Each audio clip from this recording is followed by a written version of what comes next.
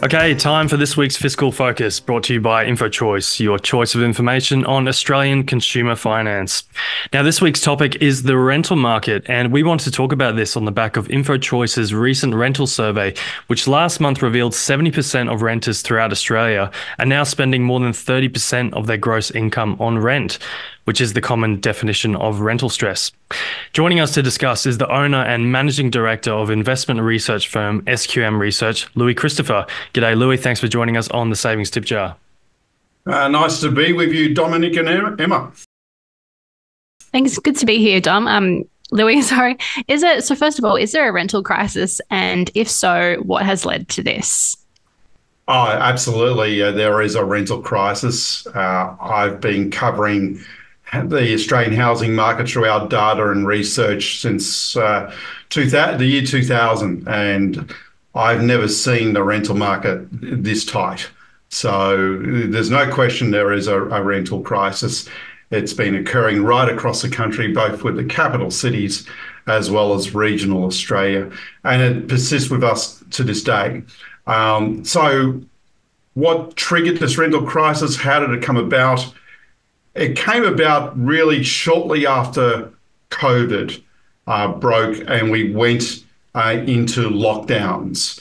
So, wind back to the year 2020, uh, the first lockdown when COVID was really scaring everybody uh, pretty severely. Uh, what we actually first recorded then was a rise in rental vacancies. So, what happened back then was that a whole bunch of Airbnb owners could no longer get the, the business traveller, the holiday maker, and they they basically moved to the long term leasing market to try and lease their properties in the long term leasing market. And so there was actually a, a, brief rise in rental vacancy rates, which, which lasted for about four or five months. But from about the end of 2020 into 2021, 22, and, and to present day, there was a sharp decline in rental vacancies. And that occurred because number one, um, when we went into lockdown, we had COVID. We, as a community, were looking for accommodation where we were going to be living with less people. So the number of occupiers per dwelling fell quite dramatically. And that actually increases the demand for properties. When you have less people per dwelling, that means there, there's greater demand for more dwellings. So that happened. At the same time, uh, the supply of dwellings briefly uh, fell away in terms of new dwellings. Uh, and so we weren't building as much as what was normally required. That did change briefly in 21 22. There was a bit of a pickup in supply. But the fall in the number of occupiers per dwelling more than up offset that increase in supply.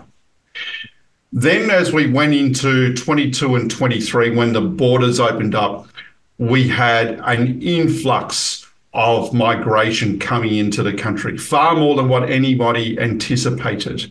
So normally the population expands by some 200,000 to 250,000 people a year, sometimes 300,000. And last year in 2023, it expanded by north of 600,000 people. Uh, so there was this influx of people coming in looking for accommodation. Over and above that, with the rise in interest rates, we had then uh, we started to record falls in dwelling uh, completions over the course of 2023. So as migration was really ramping up, supply started to fall away again. So it was a combination of many factors which uh, drove uh, rental vacancy rates to record lows.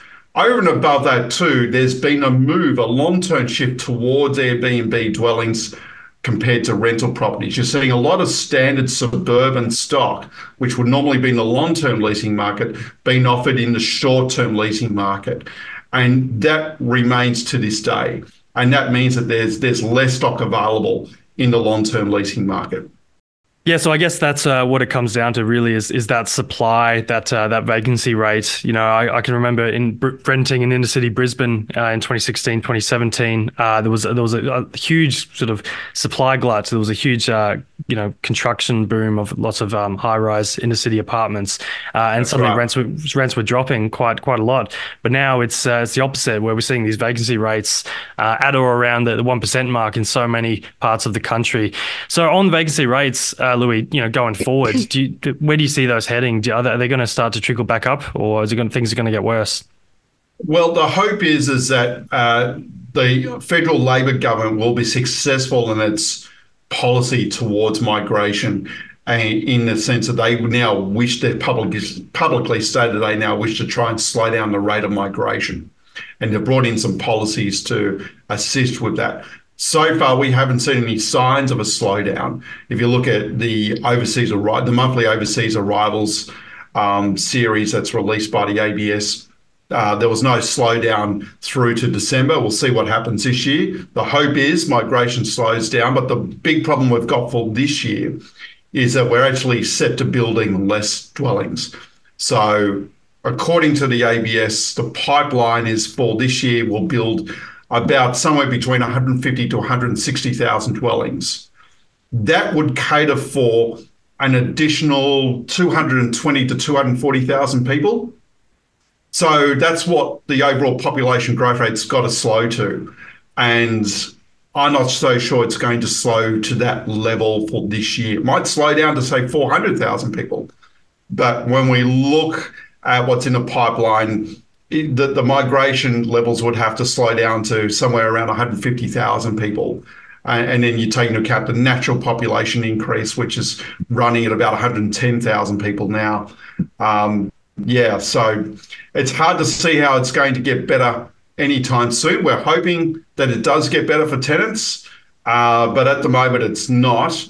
And we are still recording rental rises uh, as we speak, rents rose or asking rents rose in January by about 1.4%. And so far in February, it looks like they're going to be up again by a similar number. Yeah, like Dom touched on in the intro, we did a survey uh, on InfoChoice about this rental crisis, and we had more than 96% of renters respond saying that they think governments need to do more to help renters. What do you think the government can or should do to assist in this crisis? Well, first and foremost, they've got to do things which are which are, are not counterproductive. So I'm a strong believer in not putting caps on rents, as an example. I'm well aware that the uh, the the federal Greens Party are keen to put caps on rents. I think that would make the situation far worse.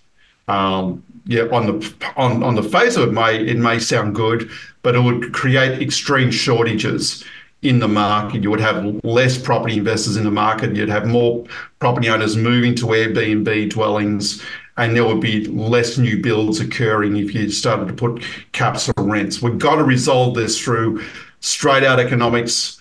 I do believe a cap on migration would work, and I believe we need to take a bit of a carrot and a stick approach to property developers.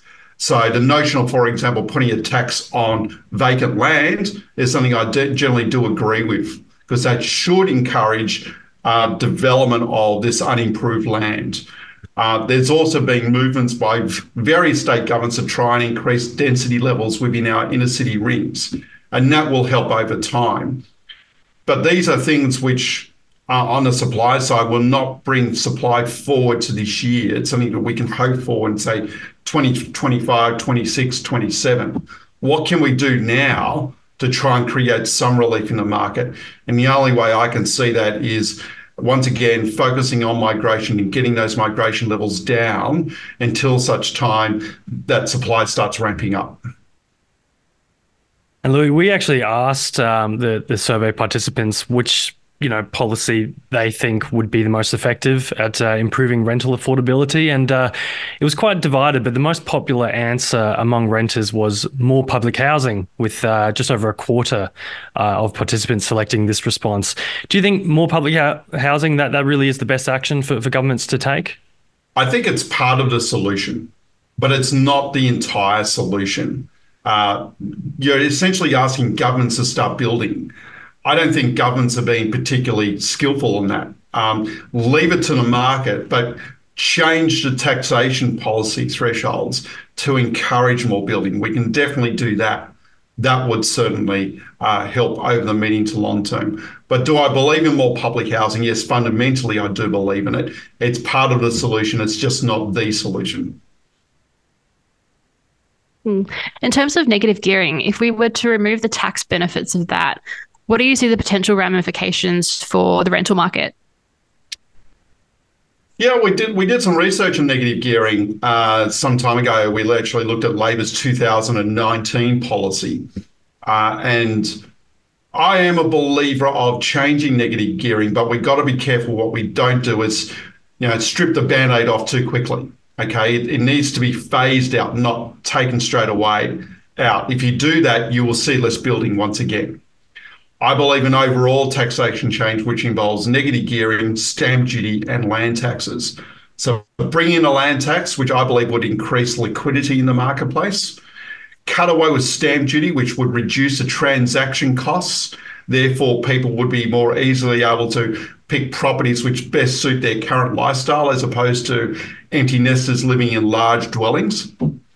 Uh, and um, you know, I, I, think the negative gearing change would also help because it would actually increase rental yields and put our rental yields more in line with what you see overseas. And if we were to have higher rental yields on offer, you would then see build to rent schemes work more efficiently. At the moment, there's a lot of talk about build to rent in this country, but there's actually not so, not to date, a whole lot of action occurring because many fund managers are struggling to make the numbers work as they currently stand. Yeah, certainly. We need to see a lot of action take place uh, in some regard, whether that is, yeah, build to rent and uh, numerous different taxation policy changes, phasing out stamp duty. There's so much that can be done. Uh, we need to see, you know, some sort of action really to, to resolve this. So, uh, but uh, I'm afraid we're out of time. Louis Christopher, really appreciate uh, your insights and thanks so much for joining us on the Savings Tip Jar. Thank you, Dominic. Thank you, Emma.